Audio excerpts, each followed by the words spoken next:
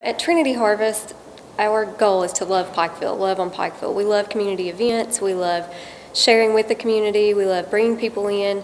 Um, we were tossing around ideas for a fundraiser for a local charity. We decided on Judy's Place, um, and what better way than a 5K? Everybody's into fitness, into getting healthy, so we thought, good, and you know, another 5K for Judy's Place would be great.